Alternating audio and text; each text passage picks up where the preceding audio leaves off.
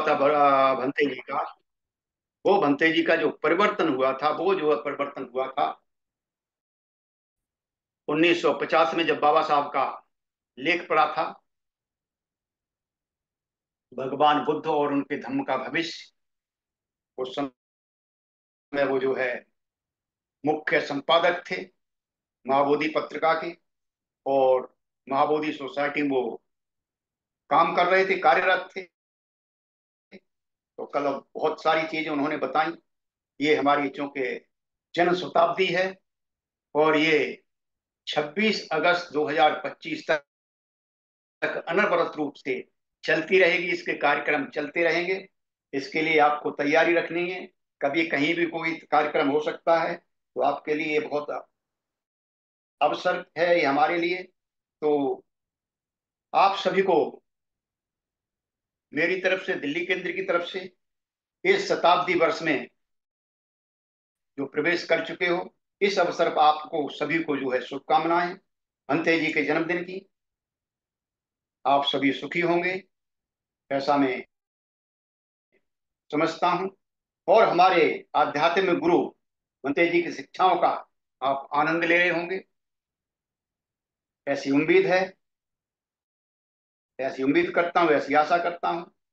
तो जो कुछ है आज मैं अपनी तरफ़ से कुछ नहीं कहूँगा। ये भंते जी का ही लेखन है, उसको मैं आपके सामने पढ़ने जा रहा हूँ। बहुत महत्वपूर्ण लेखन है ये, बहुत महत्वपूर्ण लेख है ये। क्योंकि भंते जी करीब 20 साल भारत के अंदर रहे 1944 से लेके 1964 तक। और उन्होंने भारत ही नहीं, लंका, तिब्बत और बर्मा का कुछ हिस्सा इसमें अच्छी तरह से उन्होंने देखा, मनते जी ने। लेकिन वो काफ़ी संगठनों के संपर्क में थे, क्योंकि वे वो भिक्कू बन चुके थे। उनकी दीक्षा हो गई थी, कल बताया था आदि धमचारी बोधि प्रकाश जी ने। वो भिक्कू बन चुके थे और काफ़ी भ्रमण किया उन्होंने। जितनी हमको जानकारी नहीं है, आपको भी नहीं होगी, शायद जानकारी किसी को होगी इतनी, जो बनते जी को भारत के चप्पे चप्पे की जानकारी है। और काफ़ी संस्थाओं के संपर्क में वो आए। तो बनते जी लिखते हैं यहाँ पर, मैं इन संगठनों के संपर्क में था, लेकिन किसी में भी सदस्य के रूप में शामिल नहीं संपर्क में ज़रूर थे, लेकिन शामिल वो किसी में नहीं एक विशेष संगठन के में संपर्क में था। यह बहुत ही पुराना संगठन था।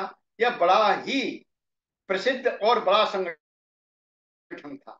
अपने दिनों में भारत में बौद्ध धर्म के लिए इससे बड़ा ही अच्छा काम किया था।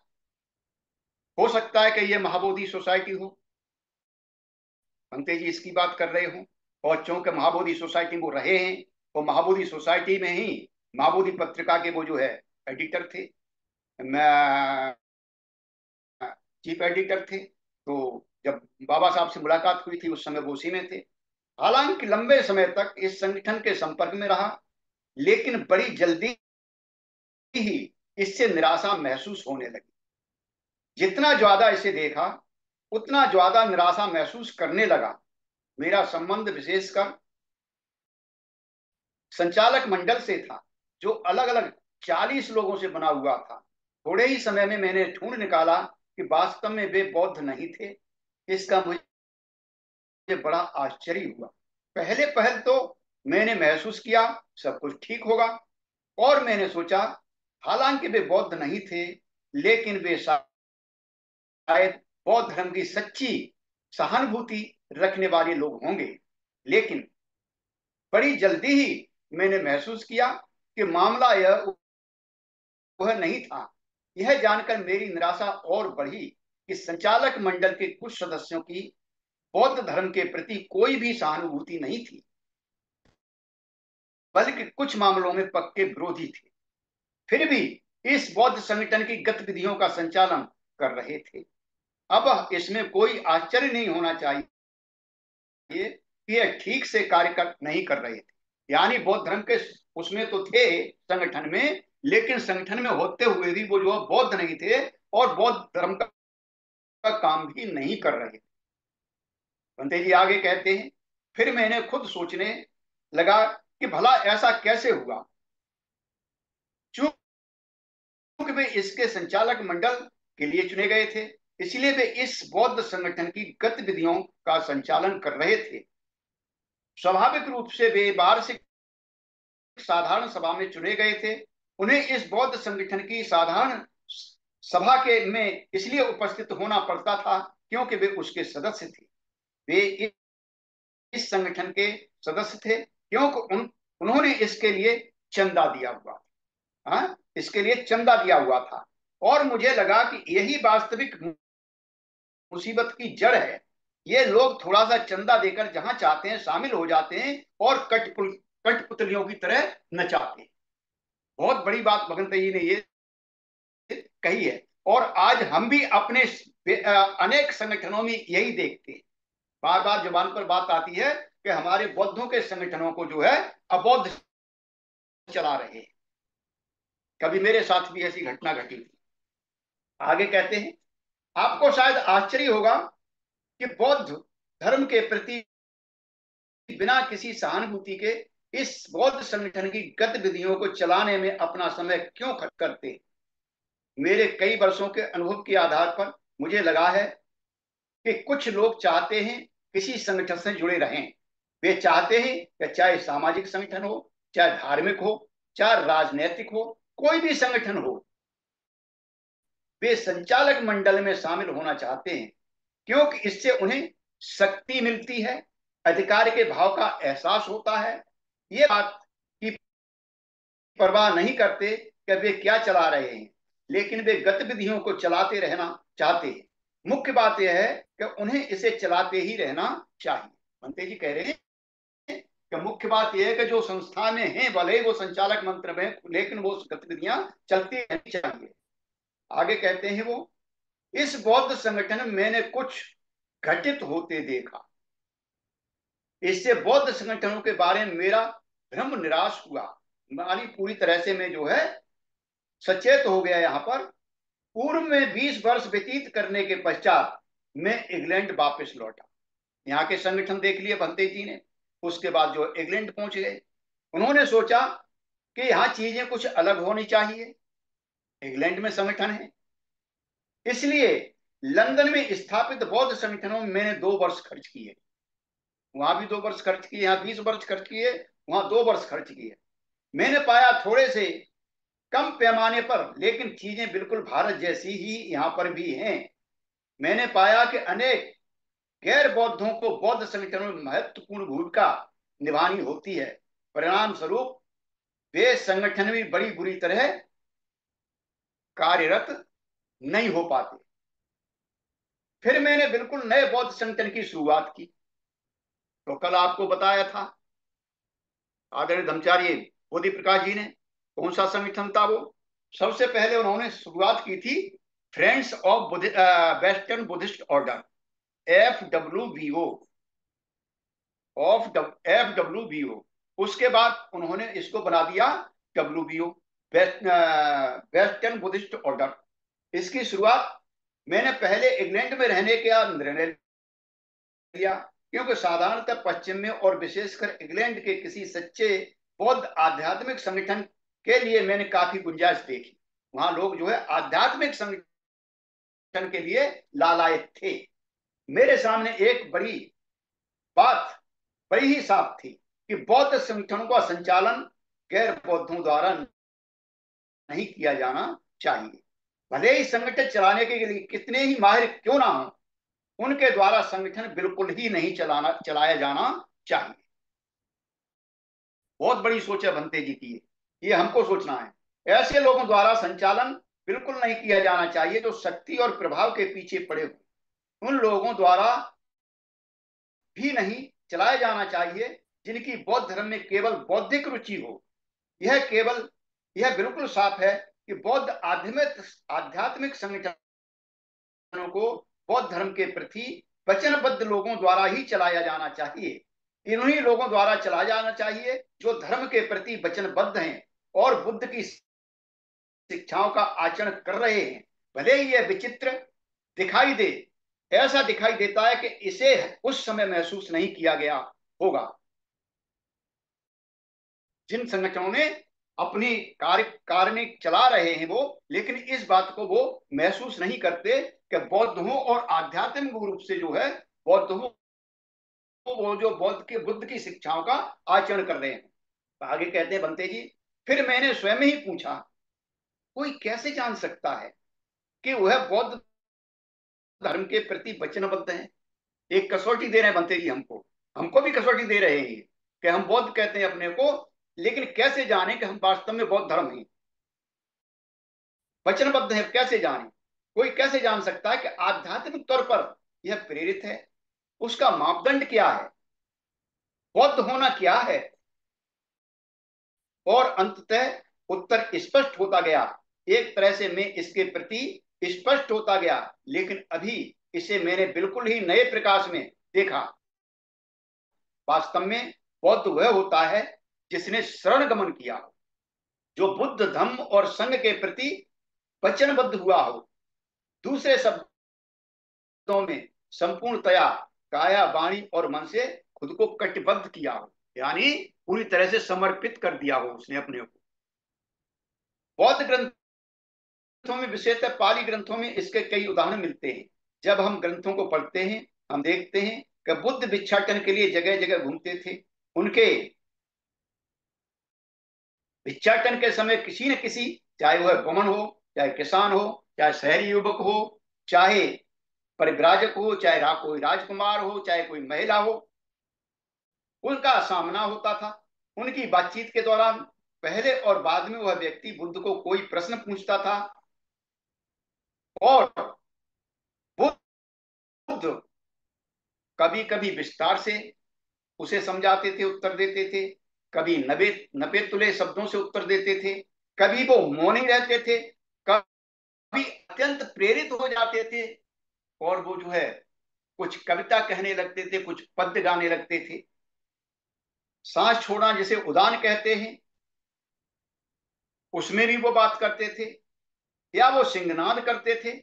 संपूर्ण और पूर्ण कभी कभी बिल्कुल विरोधी अपने महान आध्यात्मिक अनुभव और उन्होंने जो सिखाया, उस मार्ग की घोषणा करते थे। जो वो सिखा रहे थे, उस मार्ग की भी घोषणा करते थे। जो कुछ बुद्ध ने कहा या नहीं कहा, अगर वह श्रोता ग्रहणशील था तो परिणाम समान था। परिणाम समान था। वह दिल की गहराई में प्रेरित महसूस करता था। कभी कभी इसकी बाहरी अभिव्यक्ति भी होती थी। उसके रोंगटे खड़े हो जाते थे। वो आँसू बहाना शुरू कर देता था।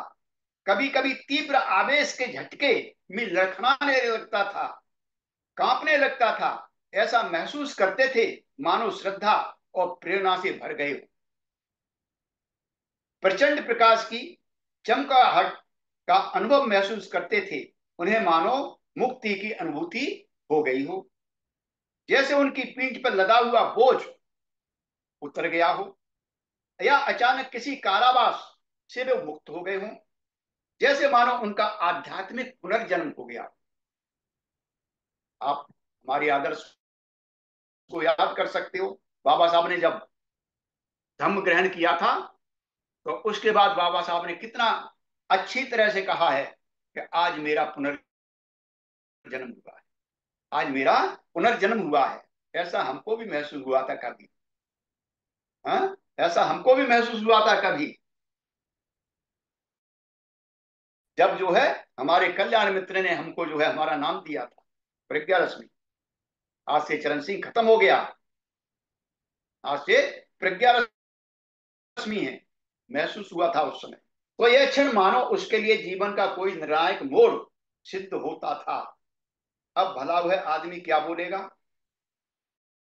बुद्ध के प्रति उसका प्रत्याश क्या होगा? प्राचीन बाली ग्रंथों के मुताबिक यह उद्गार व्यक्त करता था। क्या करता था?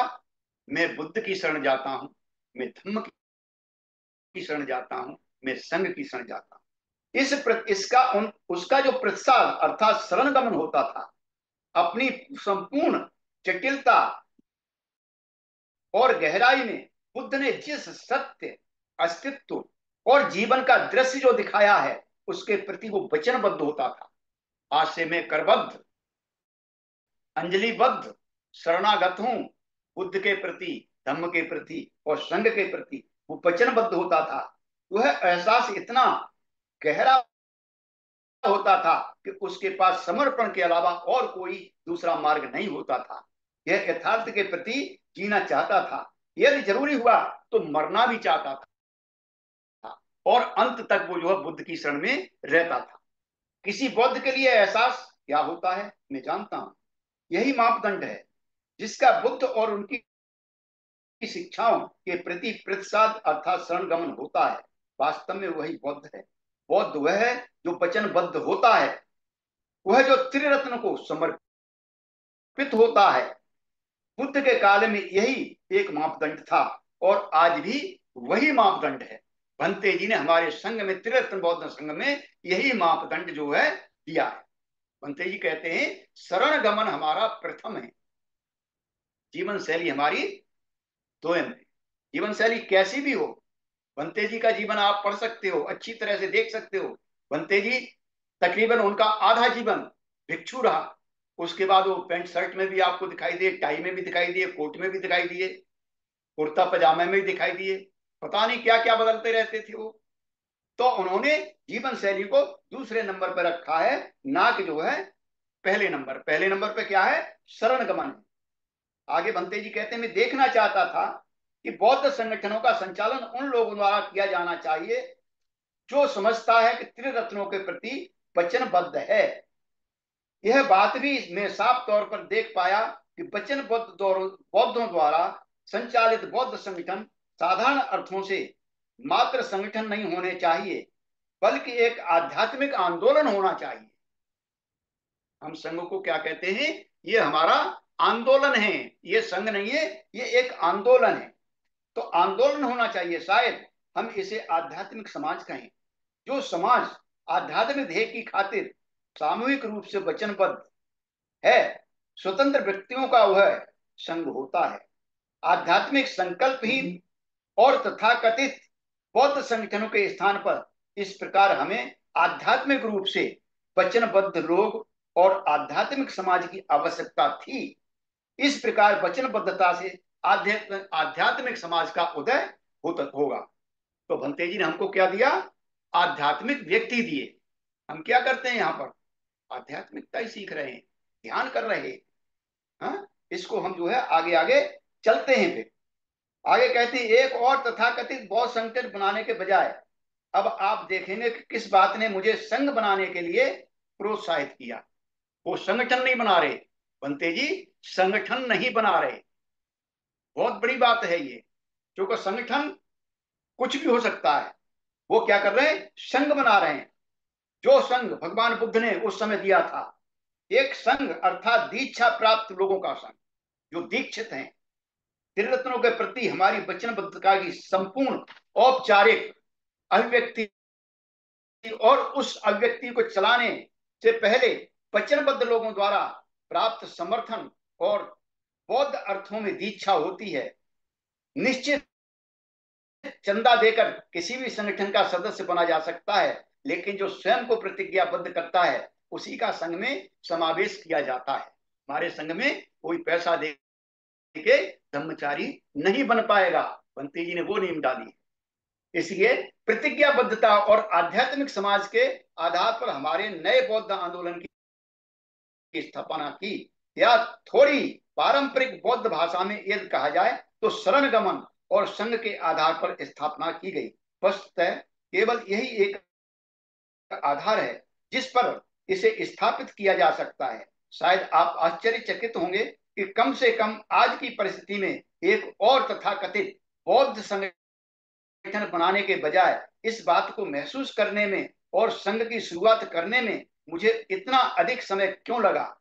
जहाँ तक मैं देख सकता हूँ कि इस इसके तीन कारण हैं। आध्यात्मिक समाज और अन्य धार्मिक संगठनों के बीच भेद की स्पष्टता के लिए मैं थोड़े विस्तार में जाना चाहूँगा। भंते जी बता रहे हैं आगे। सबसे पहले मैं उसे जड़त्व की आदतों के बल के रूप में व्याख्या करना चाहूँगा। करीब सौ वर्ष पहले पश्चिम में बौद्ध धर्म को जानने की शुरुआत हुई।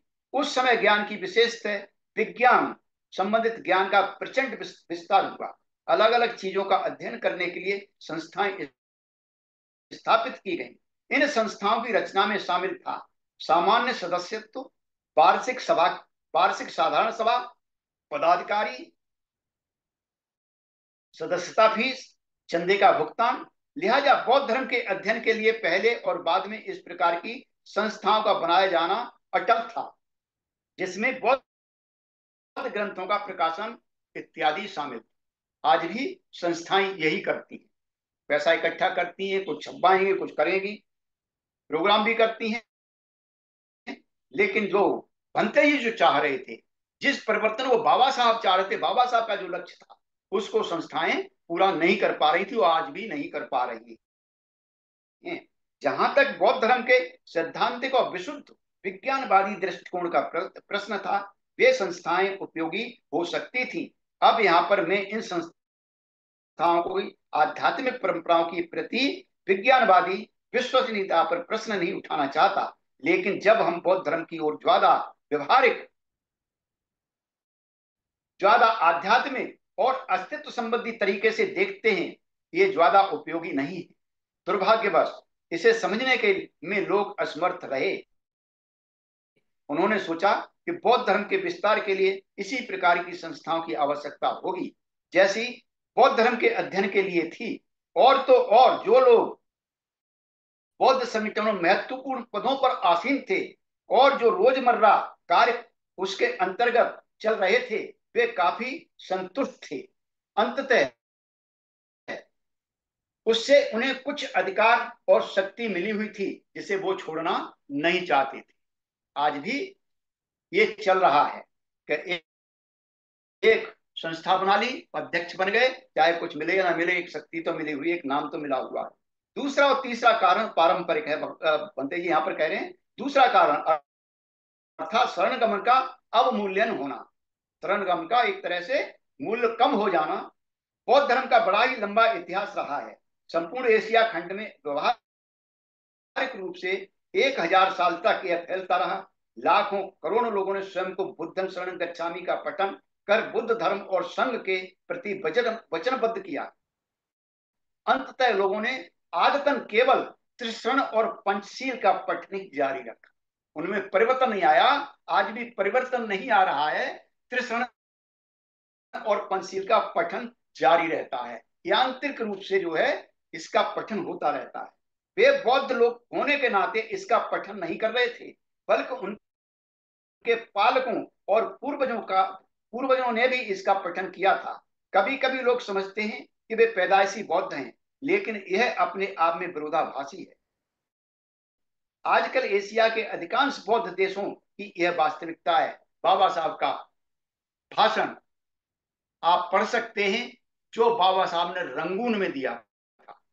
वहाँ से स्पष्ट होता है कि बाबा साहब क्या चाहते थे। वो एक नया धर्म सेवक चाहते थे, जो आदरणीय भंते जी ने दिया है। अब शरण गमन को वास्तविक, व्यक्तिगत, आध्यात्मिक वचनबद्धता की अभिव्यक्ति नहीं समझा जाता। केवल त्रिशरण और पंचशील का पठन मात्र आपको विशिष्ट सामाजिक और सांस्कृतिक समूह का सदस्य होना दिखता है। भारत में मुझे इसका खूब अनुभव आया। उदाहरण के लिए, मैंने पाया कि सिंगली, थाई, बर्मी और भारतीय बौद्ध सभी मौकों पर, जैसे बड़ी सामाजिक सभाएँ, शादियाँ अंतर यात्राएँ नामकरण इत्यादि में त्रिशरण और पश्चिम का पाठ करते हुए दिखाई देते हैं। लेकिन इसके महत्व को लेकर वो कोई भी चिंतित दिखाई नहीं देता। इसका क्या महत्व है? वे सभी एक अच्छा बौद्ध या आदरणीय नागरिक दिखने की खातिर कृष्ण और पंचशील का पाठन करते रहे, दिखाई देते हैं। इसलिए फिर कृष्ण और पंचशील का बौद्ध धर्म के आदर्शों के प्रति अपनी वचनबद्धता की अभिव्यक्ति होने का प्रश्न ही नहीं है।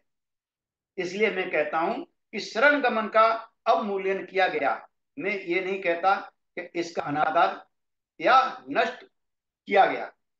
आगे कहते हैं, भगवते जी, जहाँ तक भारत में मेरे संपूर्ण प्रवास के दौरान मुझे याद पड़ता है कि किसी ने भी शरण गम के महत्व पर कभी ज़ोर नहीं दिया। कुछ लोग त्रिशरण और पंचशील के सही उच्चारण को लेकर काफ़ी सतर्क थे, लेकिन उन शब्दों के वास्तविक अर्थ पर कोई ध्यान नहीं दिया। इसलिए शरण गमन के महत्व की मुझे मेरी खोज करनी पड़ी। जैसे मैंने यह सब किया है, मैंने इसके महत्व को जाना वास्तव में यह सभी की मास्टर चाबी है। बौद्ध धर्म की एक तरह से ये बनते जी कह रहे हैं, मास्टर चाबी है। शरण गमन बौद्ध धर्म की बड़ी ही ज़रूरी ऐसी कृति है। यह और यही बात आपको बौद्ध बनाती है। यह बौद्ध धर्म की सबसे सरलतम और सबसे महत्वपूर्ण चीज़ है। सबसे महत्वपूर्ण चीज़ है। और एक बौद्ध संगठन की शुरुआत करके, अर्थात भिक्षु संघ का महत्व बढ़ाने विशेषतर औपचारिक भिक्षु संघ का महत्व बढ़ाने के बजाय किसी ने भी ऐसा संघ प्रतिस्थापित करने के बारे में सोचा नहीं। यह एक आखिरी कारण है। हाल ही में यदि आप किसी गंभीर बौद्ध विशेषतर दक्षिण पूर्वी बौद्धों से पूछते हैं कि सच्चा बौद्ध कौन है तो वे बेझिझक कहेगा कि सच्चा बौद्ध अर्थात भिक्खु। सच्चा बौद्ध अर्थात भिक्खु है। वह आपसे कहेगा कि यदि आपको दिल से बौद्ध धर्म का आचरण करना है तो आपको भिक्खु होना चाहिए। उपासक एक सीमा तक ही आचरण या तो कर पाएगा या फिर नहीं कर पाएगा। उपासक का सबसे अच्छा आचरण अर्थात भिक्खु को मदद करना है। उसे भोजन देना है, आश्रय देना है, कपड़े देने हैं, औषधि मुहैया कराना है। इस तरह कोई उपासक पुण्यार्जन करके मृत्यु के पश्चात स्वर्ग में या कम से कम पृथ्वी पर किसी समृद्ध व्यक्ति के घर में पुनर्जन्म ग्रहण कर सकता है, जो पुनर्जन्म की कंसेप्ट दे रखा है। आज हमारे बहुत भिक्खु लोग बोलते हैं, क्योंकि शरण गमन का अवमूल्यन होने से भिक्खु संघ का महत्व बढ़ा है। शरण गमन का जो अवमूल्यन हो गया, इसका कोई महत्व तो नहीं रहा। महत्व तो बहुत कम हो गया शरण गमन का, इसलिए भिक्खु संघ का जो है महत्व बढ़ गया। बौद्ध होने के नाते शरण गमन करने के बजाय आपको भिक्खु बनना चाहिए। स्वयं की वचनबद्धता का फिर यहाँ पर प्रश्न ही पैदा नहीं होता। चीवर धारण कर लीजिए, वचनबद्धता की ज़रूरत ही नहीं है। बस चीवर धारण कर लिया, चल दीजिए तो बन गए वास्तव में भिक्खु संघ के महत्व को मैं कम नहीं करना चाहता। नहीं तो यह एक दूसरे श्रेय की भूमिका होगी? मेरे जीवन का आधा पढ़ाव पंते जी कह रहे हैं मैंने जीवन का आधा पढ़ाव भिक्खु रहकर बताया। कई तरह से मैं सोचता हूँ कि भिक्खु का जीवन सर्वोच्च, संभावित जीवन है, लेकिन बौद्ध होने के नाते भिक्षु बनने की आवश्यकता नहीं। त्रिरत्नों के प्रति समर्पण, यह प्राथमिक है, और किसी विशिष्ट जीवन पद्धति स्वीकार, ये बाद में है। जो जीवन पद्धति है, वो कैसी भी आपकी हो, लेकिन जो आपका शरण गमन है, आपका समर्पण है त्रिरत्नों के प्रति, वो जो है पहले नंबर पर होना चाहिए। कुछ लोगों के लिए शरण गमन की अभिव्यक्ति उनके भिक्षु जीवन पद्धति से होगी। बुद्ध के कालखंड में बनते ही बता रहे हैं यहाँ पर, और यहाँ हम भी बताते रहते हैं, बहुत सारे ऐसे ग्रस्त हुए हैं जो अपनी ऊंचाई पर पहुँचे हैं। बुद्ध के कालखंड में विशेष तौर पर यही बात थी, लेकिन बुद्ध के कालखंड में निश्चित रूप से इतना ही भर नहीं था। पाली ग्रंथों के मुताबिक ग्रस्त जीवन जीते हुए अनेक उपासकों और उपासिकाओं ने आध्यात्मिक विकास की बुलंदियों को छुआ है। आप पढ़ सकते हैं, अनाथ पिंडक को पढ़ सकते हैं, विशाखा को पढ़ सकते हैं, कितने हुए हैं ग्रस्त जिन्होंने आध्यात्मिक विकास की ऊंचाइयों को छुआ पूरी तरह से वो जो है आध्यात्मिक हो गए। अनेक वचनबद्ध लोग एक जैसी जीवन पद्धति का निर्वाह करते थे, लेकिन वचनबद्धता और जीवन पद्धति के बीच में का अंतर स्पष्ट दिखाई देता है। हा? मैंने आगे कहते हैं भंते जी, मैंने बिहार वासी जीवन में वचनबद्धता की अभिव्यक्ति के संदर्भ में बात की है, जो हमारे बिहार वासी हैं। अगर आप बिहार वासी हैं तो वहाँ तो वचनबद्धता कम से कम निभाइए, वहाँ भी अगर वचनबद्ध नहीं है तो फिर क्या फ़ायदा है ऐसा? अर्थात निष्ठापूर्वक बिहार वासी जीवन जीने के बारे में बोला है, दुर्भाग्यवश हमेशा ऐसा ही नहीं है। एशिया के अनेक भागों में बिहार वासी जीवन ने वचनबद्धता को स्थापन किया है बहुधा बजाय सच्चा भिक्षु जीवन के, यह एक औपचारिक भिक्षु जीवन होता है। बाबा साहब ने रंगून में तभी तो कहा था कि ये भिक्षु संघ काम का नहीं है। इनको जो करना चाहिए था वो नहीं हुआ क्योंकि वचनबद्धता नहीं थी वहाँ। शरण गमन नहीं था। मात्र जो है यहाँ तक था। गर्दन से नीचे जाता ही नहीं था वो। ज़ुबान से कहते थे पंशील ज़ुबान से लेते थे। बौद्ध जगत के अनेक भागों में उपासक शरण गमन के नाम पर त्रिशरण पंशील का मात्र उच्चार करते दिखाई देते हैं। आज भी यही चल रहा है। घर में जाके देखिए, समाज में जाके देखिए, कुछ भी नहीं है कहीं भी। बिल्कुल इसी प्रकार भिक्षु और भिक्षु जीवन के नियमों का वास्तविक अर्थ जाने बिना मात्र उच्चारण करते रहते हैं। वो भी उच्चारण करते रहते हैं। उसका महत्व नहीं समझते कि इसका महत्व क्या है। महत्व समझेंगे तो फिर आगे बढ़ेंगे। इस विशिष्ट दृष्टिकोण से अब हम देख सकते हैं कि संघ की शुरुआत करने के बजाय और एक बौद्ध संगठन की स्थापना क्योंकि उन्होंने सोचा कि उनके पास पहले ही संघ है। उनके पास पहले ही संघ है जब ऐसा नहीं है। अधिकांश स्थानों पर संभवत है अधिकांश लोग वास्तव में बाहरी और यंत्रवत समान समान जीवन व्यतीत करते हुए दिखाई देते हैं। जैसे ही आप शरण गमन पर ज़ोर देने लगते हैं, तब बिहारवासी जीवन को अधिक महत्व देने लगते हैं। हा? जब आप जो है शरण गमन पर ज़ोर देने लगते हैं तो आप जो है बिहारवासी जीवन के लिए निकलने लगते हैं। उस पर आप ज़ोर देंगे कि मुझे एकांतवास करना है। मैं जाऊँगा, मुझे शिविर में जाना है। वो बिहारवासी है, बिहारी तो है हमारे जहाँ पर शिविर होते हैं। आप बौद्ध धर्म में चले जाइए, कितने किसी शिविर केंद्र में चले जाइए। बिहारी तो है वहाँ पर। और उस जीवन का हम जो है, महत्व तो देख सकते हैं। उसकी हमें आवश्यकता है। उसके लिए हमको जाना है। महत्व तो देने की आवश्यकता नहीं होती। लिहाजा संभावित जीवन पद्धति में से किसी वचनबद्ध पद को उसके अपने लिए उचित जीवन पद्धति का स्वीकार करना सहज हो जाता है अगर हम शरण गमन सही मायने में समझते हैं, शरण गमन को हम कर लेते हैं, और शरण गमन को हम आचरण में ले लेते हैं, शरण गमन को अपने भाव में, पूरी तरह से भावनाओं में विकसित कर लेते हैं तो हमें इसकी समझ आएगी और फिर हम जो है रुकेंगे नहीं है हाँ? फिर हम जो है रुकेंगे नहीं, हम चलते रहेंगे, कदम दर कदम आगे बढ़ते रहेंगे, अपना आध्यात्मिक विकास करते रहेंगे। आध्यात्मिक विकास के साथ हमारा इस जीवन का भी विकास होता चला जाएगा। तो ये आज का जो लेख था, भंते जी का, बहुत महत्वपूर्ण लेख था। आपको कुछ इसमें से सुलझी होगी कि उन्होंने शरण गमन को प्रथम तक क्यों रखा गया है? जीवन शैली हमारी कैसी भी होनी चाहिए। हम किस, कहीं भी रह सकते हैं, क्योंकि ये अंतरराष्ट्रीय संघ है, अंतरराष्ट्रीय आंदोलन है। बुद्ध का आंदोलन है उसे अंतरराष्ट्रीय बनाने के लिए भंते जी ने जो इसके बीच में दिया है मध्य केंद्र में दे रखा है शरण गमन हमारा पक्का होना चाहिए तभी हम आगे बढ़ सकते हैं तभी हम एक बौद्ध एक उत्कृष्ट बौद्ध बन सकते हैं और, और बाबा साहब के सपनों का जो परिवर्तन बाबा साहब चाहते थे वो हो करके हम बाबा साहब के सपनों का भारत बना सकते हैं। तो आपका बहुत बहुत साधुवाद धन्यवाद मुझे सुनने के लिए। मुझे मौका दिया। आदि मित्र लाल जी ने, उनका बहुत बहुत साधुवाद। सभी को जय भीम। नमो बुद्धा